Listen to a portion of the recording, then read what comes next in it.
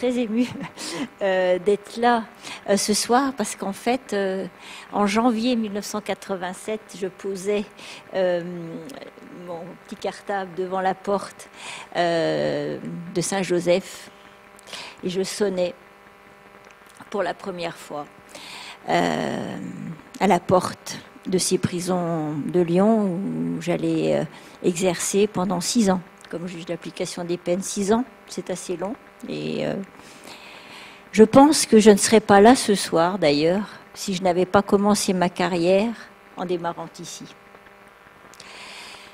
Donc, euh, je ne vais pas vous faire un cours de droit sur les droits fondamentaux, mais je m'attacherai plutôt à, vous parler de comment un juge peut euh, se référer aux droits fondamentaux, parce que le juge applique la loi, et comment est-ce qu'il se situe par rapport aux droits fondamentaux? Et pour moi, ça, me paraît justement un compagnonnage évident euh, depuis 30 ans. Alors, juste ces droits fondamentaux, vous savez, ce, que, ce sont les droits euh, subjectifs, les droits primordiaux de l'individu, assurés dans un état de droit et dans une démocratie. On peut, il y a les droits de l'homme, les libertés publiques, et certains droits euh, qu'on dit, qu'on appelle droits de, créance. On les retrouve énoncés dans des grands textes fondamentaux, la, Déclaration des droits de l'homme et du citoyen, les préambules des constitutions 1946, 1958, la Convention européenne euh, de sauvegarde des droits de l'homme, la Charte de l'environnement, la Charte des droits fondamentaux de l'Union européenne. Euh, voilà, j'en oublie certainement, mais on a déjà un corpus de, textes euh, qui reprennent ces droits fondamentaux. Et c'est vrai qu'on les considère comme les remparts de l'état de droit, comme s'ils étaient finalement permanents. Et d'ailleurs, euh, en Allemagne, ce n'est pas neutre, après euh, la Seconde Guerre mondiale, après le nazisme, ils ont intégré une clause d'éternité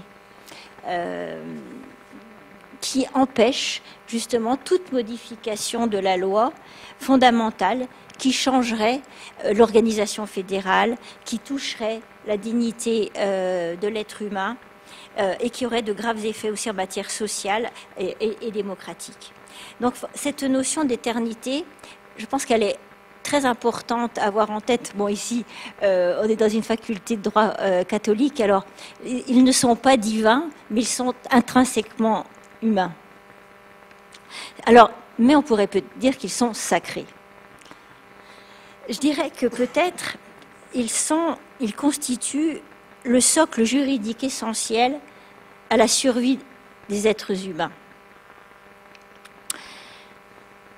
Et ils protègent aussi de la folie des hommes. Et en cela, ils sont un socle juridique, un rempart contre la folie des hommes, y compris euh, il protège de la loi si celle-ci devient scélérate. Alors, je vais vous, je vais vous témoigner justement de, euh, de cet apprentissage qui a été le mien aussi euh, par rapport aux droits fondamentaux comme juge. Et je vais vous parler peut-être de, de, mes, de mes premières années ici et pourquoi j'ai noué cet engagement avec les droits fondamentaux. Euh, lorsque je suis euh, arrivée là comme juge d'application des peines, voilà, j'avais, j'avais 23 ans, j'ai rencontré un homme qui était détenu ici, dont la date d'écrou était antérieure à ma date de naissance. Et il était il avait été baladé euh, de prison en prison. Euh, parfois, il avait des, épisodes euh, de, grande violence, de démence. Il avait été, au fur et à mesure des années, oublié peu à peu de, de, sa famille, de ses amis, de, l'ensemble de la société. Et, son dossier avait presque aussi été oublié par les services sociaux. Et donc euh, un jour, il m'a demandé une audience parce que c'est vrai que je, venais rencontrer les détenus chaque semaine qui me demandaient euh, audience. Et euh, je me souviens que ce jour-là, le surveillant m'a dit, vous verrez, c'est Elephant Man.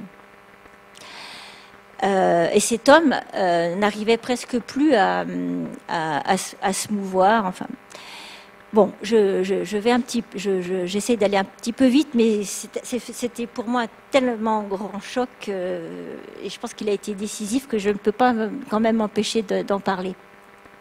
Et finalement, euh, avec le service social, les intervenants, et ça j'insiste beaucoup parce que dans un lieu comme ça, je pense que c'est important de rappeler le rôle des visiteurs de prison, euh, des bénévoles qui interviennent. Euh, nous, nous finissons par obtenir une, parce qu'il avait été condamné à, perpétuité, alors qu'il n'avait pas tué, hein, d'ailleurs, à, l'époque. Enfin, je veux c'était euh, très euh, particulièrement sévère. Et euh, nous obtenons une commutation de, sa peine, donc à, une peine de 30 ans. Et après qu'il ait pu avoir des permissions de sortie accompagnées justement par un bénévole, il, il bénéficie d'une semi-liberté qui précédera donc une libération conditionnelle. Et donc, euh, il commence à effectuer un stage de remise à niveau. D'ailleurs, le terme de remise à niveau, ça m'a toujours un peu euh, euh, voilà, étonné parce que à quel niveau voilà, allait-il être remis Et puis, une semaine passe. Donc, il était à Montluc à l'époque, le quartier de semi-liberté, c'était à Montluc. Une semaine passe, deux semaines. Et puis, la troisième semaine, un soir, au lieu de rentrer euh, au quartier de Semi-Liberté, il s'est jeté sous le train juste à côté de, la prison de Montluc.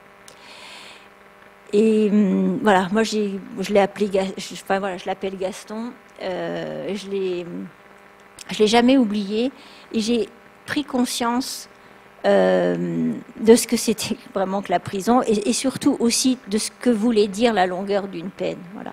Et que euh, euh, une peine, ce, n'est pas seulement deux chiffres, parce que là on parle de deux chiffres, parce que on est sur des peines criminelles. deux chiffres qui sont posés sur le papier, mais c'est bien une réalité humaine à vivre quotidiennement. Et ça, ça ne m'a jamais quitté, y compris lorsque j'ai présidé des cours d'assises. Je, ne pouvais pas commencer ce propos sans penser à lui euh, et sans penser aussi à, ces détenus que j'ai rencontrés euh, à, cette époque, qui luttaient notamment contre le sida. C'était le, il y avait pas mal de détenus qui, avaient le sida. Euh, il était très difficile d'obtenir des, enfin, des, grâces médicales, donc on essayait de, de leur, d'avoir, de, de, prononcer des aménagements de peine. Mais voilà, toute cette toute cette souffrance, finalement, euh, je l'ai prise en pleine face en sortant de la fac de droit. Et, je pense que c'est de là qu'est né, euh, dire, cet engagement euh, sur, les, droits fondamentaux. Et, aussi, j'ai pris conscience aussi que parfois,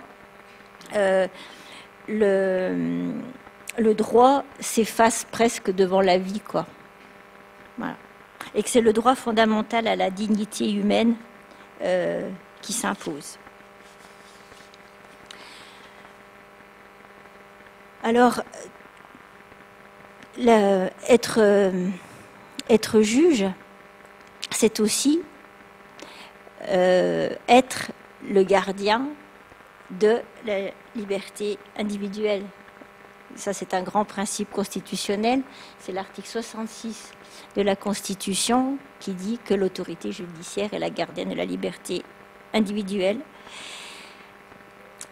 Rendre justice au nom de la liberté de la dignité des personnes et de l'égalité en droit. Et j'allais dire, c'est mon, euh, mon credo, mais c'est aussi ma fierté. Euh, voilà, je, je, suis fière d'être juge euh, parce que pour moi, l'article 66 de la Constitution, c'est fondamental. Et il ne faut jamais oublier ça. Et je suis, je suis particulièrement sensible à la manière dont notre société considère aujourd'hui tous ces fondamentaux, euh, n'aurait-elle pas tendance parfois à les reléguer au second plan ou à s'en détourner, comme s'ils s'apparentaient à un luxe qu'elle ne pourrait plus s'offrir? Alors parfois même, moi je me demande si euh, ça paraît, on, dirait qu'on est ringard lorsqu'on parle des principes fondamentaux, euh, comme si on parlait finalement d'une belle histoire, celle d'une France matrice des droits de l'homme et du, et du citoyen, mais mais révolue. Pourtant, notre destin euh, ne saurait être soumis aux seules lois euh, du marché et de l'économie. Et la survie de notre démocratie passe aussi par le maintien de l'état de droit, dans toutes ses dimensions et sous, toutes ses acceptions, qu'il contraigne ou protège. Les textes constitutionnels ont vocation à nous préserver des despotes, notamment par la séparation des pouvoirs, à nous garantir l'égalité en droit, à nous protéger des atteintes abusives à notre liberté individuelle, ils doivent être respectés, mais aussi défendus. En période notamment de crise, comme celle que nous traversons depuis des années et au cours de laquelle la démocratie pourrait vaciller si nous renonçons à y veiller. Et c'est juste être républicain que dire ça, rien d'autre. S'agissant de la prison, elle est une des composantes de notre République. Elle accueille en son sein celles et ceux qui ont transgressé ses lois. Elle est l'un des outils de régulation de la vie en société. Est-elle pour autant considérée comme une entité républicaine à part entière ou reste-t-elle un lieu à part où l'on enferme des délinquants et des criminels comme s'ils ne faisaient plus partie du monde réel? Depuis que j'ai découvert l'univers carcéral, cette question me semble sans réponse. Je ne l'ai pas la porter ce soir. Et une question similaire peut être posée s'agissant des lieux de rétention pour les personnes étrangères en séjour irrégulier. Sont-ils définitivement des sans Sans papier, sans pays, sans famille? Moins souvent posée mais tout aussi importante, et j'ai eu à, j'y reviendrai, j'ai eu à traiter de cette question comme juge des libertés euh, et, des, des, libertés de la détention. Vous voyez, j'ai retenu que juge des libertés, juge des libertés et de la, et, de la détention. Euh, moi, souvent posé la, question euh, justement des, pour les personnes malades. souffrant de troubles psychiatriques et donc hospitalisées sous contrainte. Et leur maladie mentale, pour le coup, leur ôte-t-elle leur citoyenneté C'est un vrai sujet. Donc, comment le juge euh, applique la loi en se référant aux grands principes constitutionnels Normalement, il n'a pas à se référer aux grands principes constitutionnels, il applique la loi, point final. Et pourtant, moi, je défends le principe qu'on peut appliquer la loi en se référant aussi aux grands principes constitutionnels. Alors parfois, il n'y a pas besoin. Je veux dire, la, loi en tant que telle euh, est une référence aux principes constitutionnels. C'est par exemple le principe de l'individualisation, notamment l'individualisation de, des décisions de justice, de chaque décision de justice, euh, et en particulier au pénal. Hein, l'individualisation de la peine, il n'y a pas de tarif. Voilà pas de justice prédictive. Euh, voilà. Enfin, quand je dis ça, c'est pour aussi alerter sur le, sur le futur. Hein. Ce matin, j'entendais à la radio que euh, en Chine, justement, euh, ils allaient mettre un, robot justement pour, pour certains litiges peu importants. pour se passer de, pour se passer des juges. Donc l'individualisation de la, de la sanction, de la peine, c'est pas de tarif, c'est une appréciation in concreto des faits et une appréciation de la personnalité euh, de la personne euh, que nous avons à, juger. Donc ça, parfois, euh, j'allais dire, il y a une parfaite adéquation entre les principes constitutionnels et la loi. Mais parfois, l'appréciation du juge elle peut se elle peut, elle peut être euh, euh, liée euh, aux principes aux, droits fondamentaux. Et je vais, je vais vous parler parce que je pense que ça me paraît important de vous expliquer ce qui, comment, comment justement un juge fonctionne quand il va statuer en matière de liberté et notamment en matière de détention provisoire. Donc, et c'est dans ce cadre-là que je pense que la référence constitutionnelle s'impose. Et donc là, je vais me rapporter, puisque je dis ça, je vais me rapporter à la jurisprudence du Conseil constitutionnel, plusieurs décisions, 2008, 2010, 2012. La jurisprudence est constante. La liberté individuelle ne saurait être entravée par une rigueur qui ne soit nécessaire. Les sages exige que les atteintes portées à l'exercice des libertés constitutionnellement garanties soient adaptées, nécessaires et proportionnées aux objectifs poursuivis. Et rappelle qu'au nombre de celles-ci figure la liberté d'aller et venir et le respect de la vie privée, protégée par les articles 2 et 4 de la Déclaration des droits de l'homme et du citoyen, ainsi que la liberté individuelle dont l'article 66 de la Constitution confie la protection à l'autorité judiciaire. Donc, euh, très spécifiquement sur la détention provisoire, vous savez qu'il y a ce grand principe de la présomption d'innocence.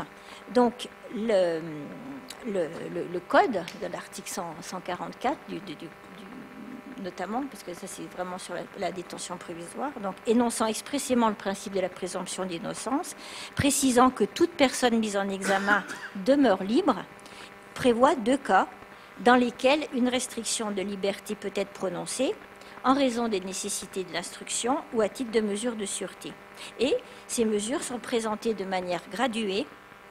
Euh, les, mesures de contrainte sont présentées de manière graduée et on peut donc soumettre une personne mise en examen à un contrôle judiciaire, c'est le premier niveau, à une assignation à résidence sous surveillance électronique, ce qu'on appelle aussi le bracelet électronique, et à titre exceptionnel, le placement des tensions provisoires lorsque les obligations des deux autres euh, mesures euh, ne permettent pas justement euh, d'atteindre les objectifs et donc les objectifs que le code énonce. Donc ça peut être par exemple conserver les preuves ou indices nécessaires à la manifestation de la vérité, éviter euh, la concertation avec euh, les personnes présumées être dans la même affaire, éviter euh, les pressions sur les victimes, éviter le renouvellement de faits similaires, éviter la fuite, hein, garantir la représentation de l'individu en justice, et puis parfois pour les affaires criminelles, et, faire cesser un trouble important à l'ordre public. Et donc la loi demande au juge en quoi le placement en détention, provisoire constitue l'unique moyen d'éviter la concertation euh, avec les, euh, avec les autres personnes impliquées dans l'affaire, euh, le seul moyen d'éviter la pression sur la victime. Enfin bon, voilà, vous comprenez le raisonnement. Et donc, euh, la loi exige une motivation sur ce plan euh, de la part du juge. Et une motivation d'ailleurs de type général ou type est censurée par la, Cour de cassation. Et donc le, juge des libertés et de la détention doit prendre et motiver sa décision au regard de l'ensemble de ces critères. Mais alors, donc ça c'est juste un rappel du droit, mais comment les examine-t-il en pratique Et c'est ça euh, que, je, le plus secret et que vous ne savez pas forcément.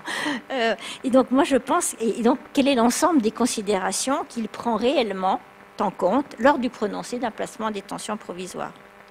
Dans un dossier à traiter, il est possible que l'un des critères énoncés par l'article 144 existe et puisse fonder une telle décision. Par exemple, des complices doivent être interpellés.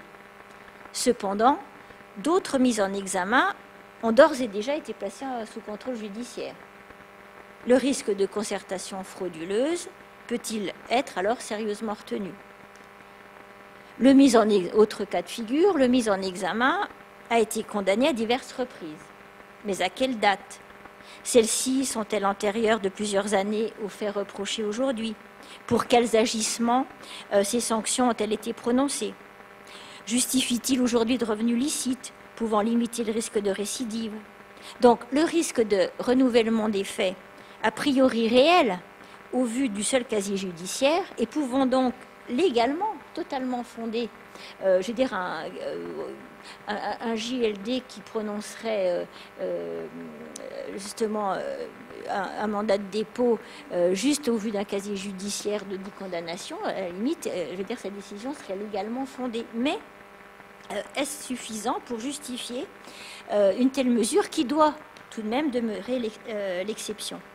Donc de telles analyses emportent, à mon, avis, une référence, justement aux grands principes constitutionnels et à la jurisprudence euh, du Conseil constitutionnel. Et c'est là justement que le juge doit toujours se poser la question, même si les éléments objectifs peuvent exister, l'atteinte à la liberté que constitue dans cette hypothèse un mandat de dépôt est-elle nécessaire, adaptée et proportionnée euh, aux objectifs poursuivis? Voilà. Bon, c'était un peu, je, voulais vous faire partager cette euh, gymnastique euh, un peu intellectuelle de référence aux grands principes constitutionnels.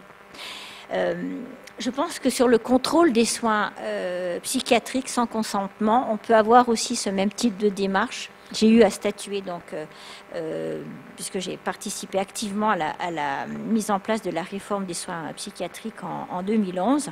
Et d'ailleurs, je rappelle que cette réforme des soins psychiatriques, c'est-à-dire l'exigence euh, de contrôle des hospitalisations sous contrainte par un juge, c'est une exigence qui a été posée par le Conseil constitutionnel. Ce n'est pas le législateur qui a décidé tout seul euh, d'ériger ce contrôle. Hein. C'est un avis euh, du Conseil constitutionnel du 26 novembre 2010 euh, qui considère justement que l'hospitalisation sous contrainte est une atteinte à la liberté individuelle et qu'elle doit être, à ce titre, contrôlée par un juge prenant en compte le motif médical euh, de cette décision, donc, euh, euh, le Conseil constitutionnel a, considéré qu'on pouvait attendre un délai de 15 jours pour que le, juge statue, mais donc il a, demandé une mise en conformité de la loi en,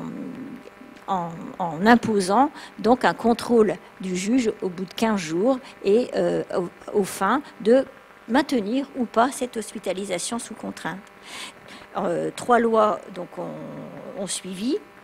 Euh, je me souviens de, la mise en place de cette réforme parce que ça a été assez compliqué parce que le réflexe des magistrats c'était de dire on n'est pas médecin donc on n'y comprend rien. Et pourquoi on nous demande ça? Sauf que justement, et c'est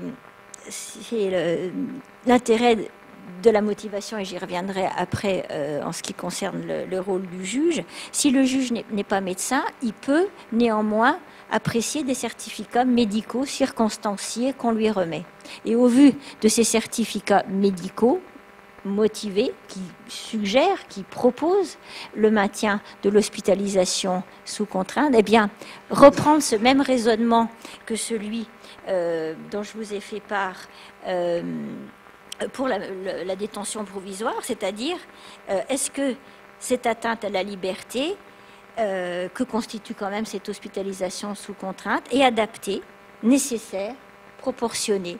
Et euh, par exemple, bon, je ne vais, pas, détailler parce qu'en plus vous avez une journée particulière sur les, les, soins psychiatriques, mais il peut y avoir hospitalisation sans consentement à la demande d'un tiers, pour péril imminent ou à la, demande du représentant de l'État. Et à la demande du représentant de l'État, c'est euh, lorsque les troubles mentaux nécessitent des soins donc, particuliers et sont de nature à,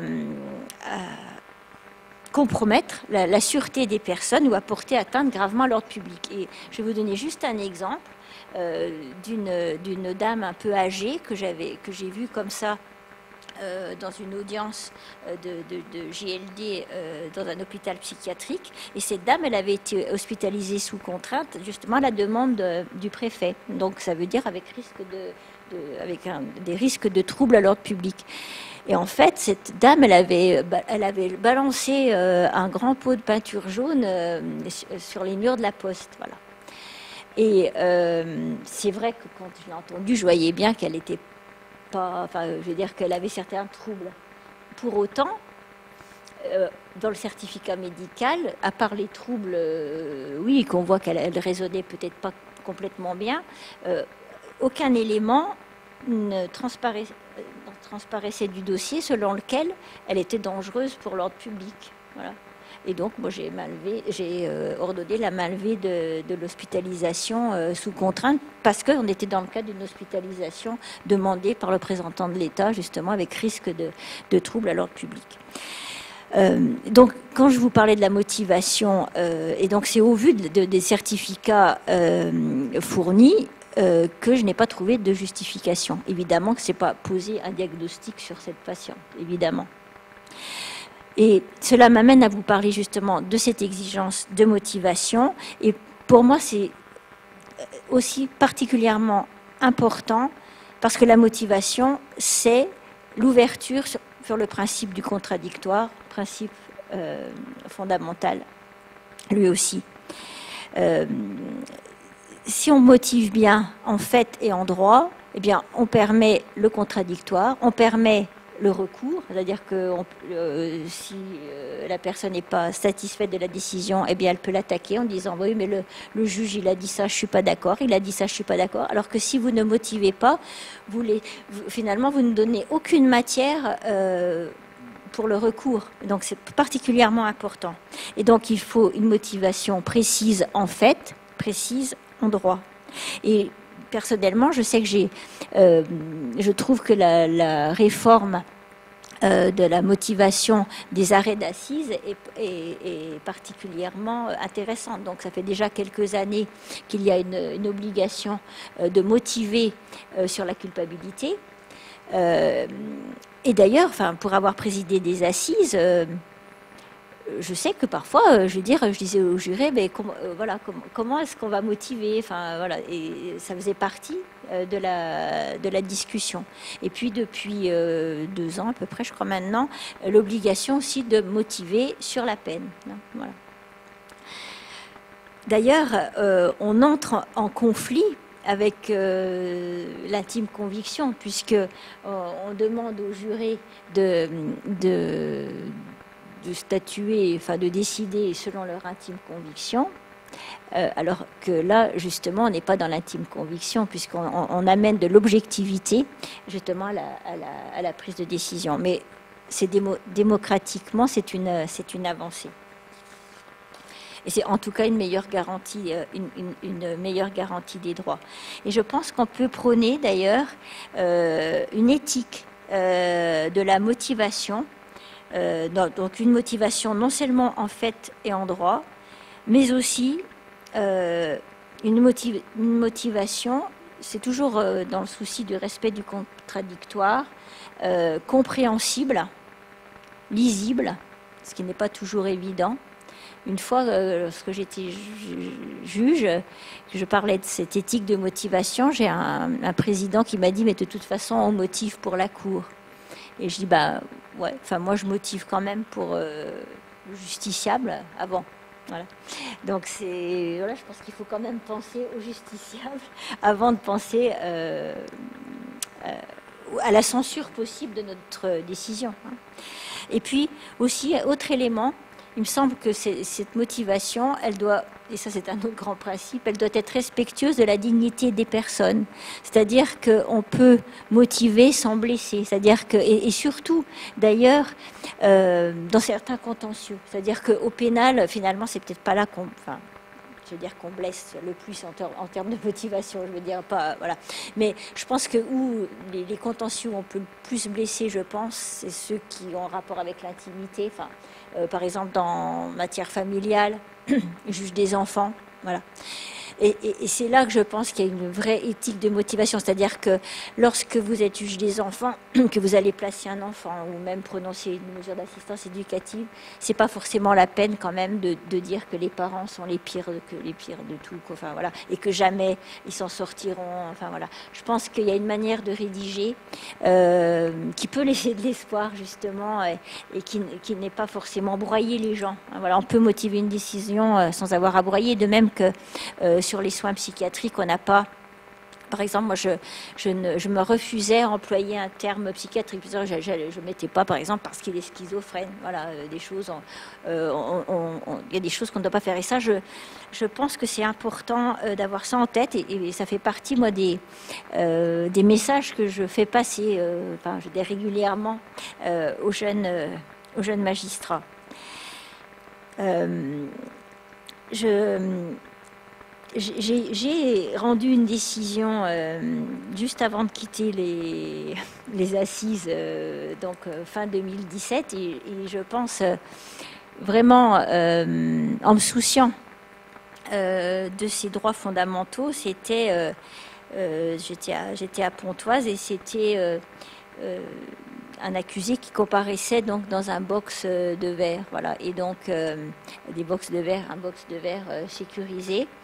Et en fait, bah, j'ai, ordonné qu'il comparaisse hors du, hors de ce box, après avoir, c'est ça l'éthique de la motivation, c'est-à-dire que je suis allée mesurer entre euh, la suspension d'audience, je suis allée mesurer l'ouverture qu'il y avait dans le box, euh, l'ouverture qui permettait euh, à l'accusé de communiquer avec son avocat. Et j'ai vu qu'il devait y avoir à peu près 15 cm de, haut, enfin voilà, à, un mètre du sol et 15 cm d'espace pour pour, s'entendre. Voilà.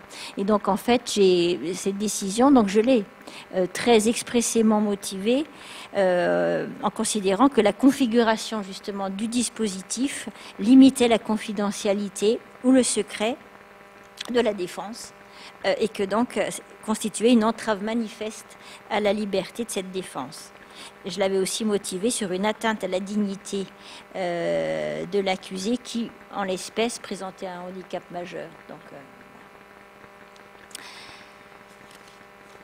Alors,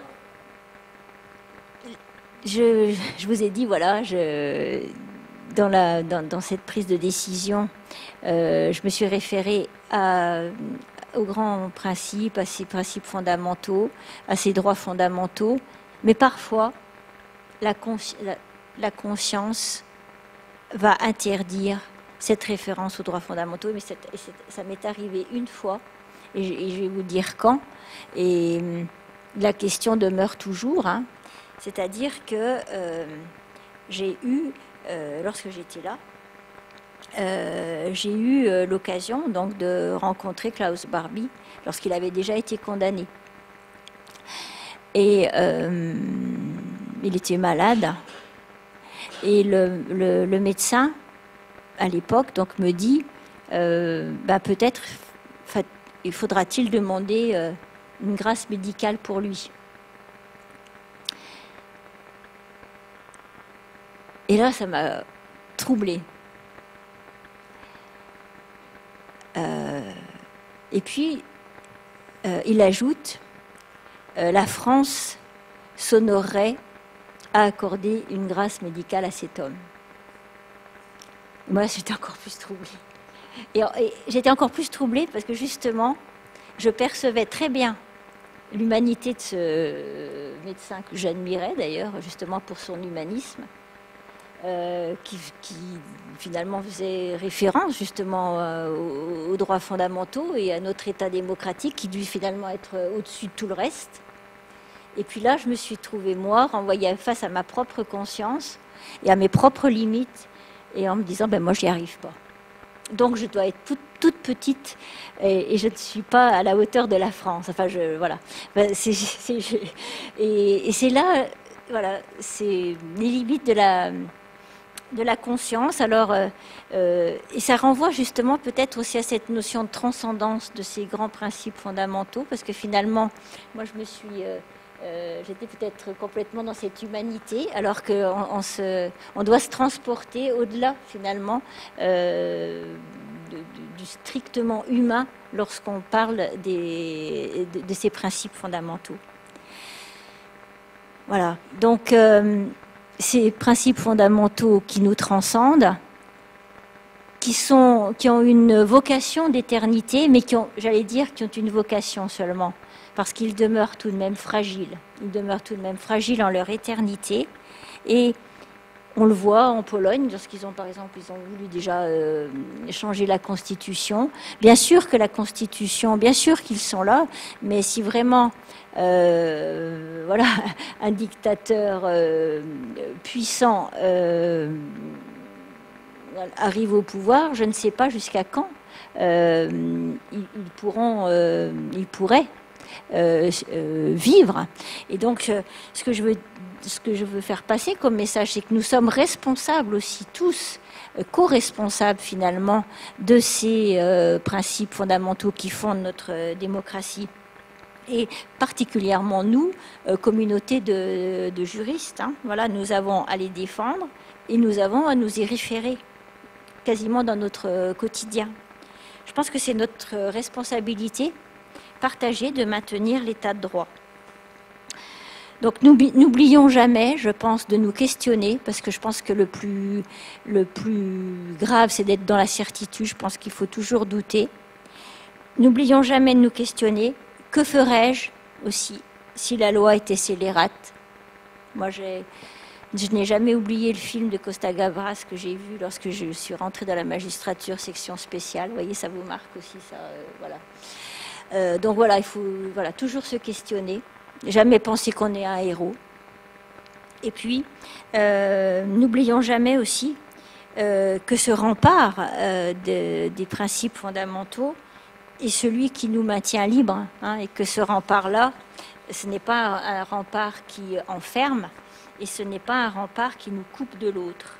Voilà, ce n'est pas une abstraction, mais c'est bien une digue effective me semble-t-il, efficace quand même contre euh, les vagues brunes euh, qui menacent un petit peu euh, tout autour de l'Europe. Voilà. Alors, voilà un peu le message que je voulais vous délivrer ce soir.